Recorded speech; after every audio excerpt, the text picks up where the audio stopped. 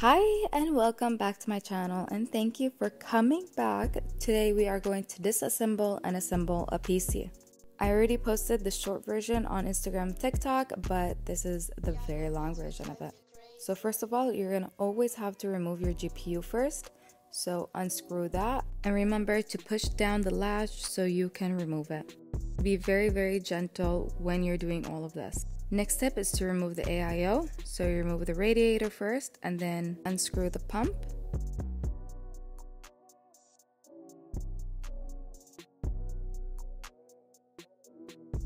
Since you're already removing the AIO, you can also remove the thermal paste and clean it up a little bit and add new one.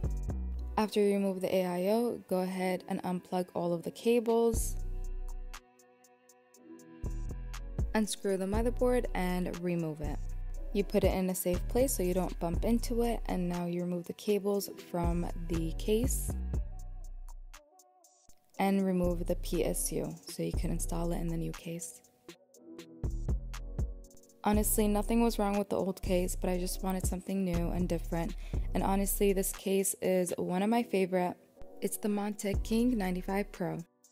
And now you're going to do everything but reverse. So we're starting with the PSU, adding that in. Make sure you screw that in tight, and I usually like putting the CPU connector before putting in the AIO. Now it's time for the motherboard, align it with the studs and screw that in very tightly. I clean the old thermal paste with isopropyl alcohol and I recommend you do this every 6 to 12 months. And just add a new coat of thermal paste. Now it's time for the AIO. You screw that in and make sure you put all of the cables inside before putting the radiator. I like putting in all the cables I already have right now, so if I want to add extra fans on the bottom, I can add that later. So I added three fans on the bottom and two on the side, so the airflow was amazing on this PC.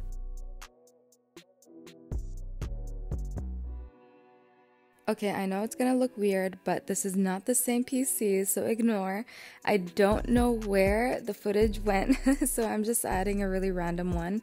I honestly don't even remember building this PC, but I actually found the video on my Instagrams, so here you go. Make sure you hear the clicking sound and you're good to go. And thank you so much for watching. Make sure you like and subscribe. Thank you.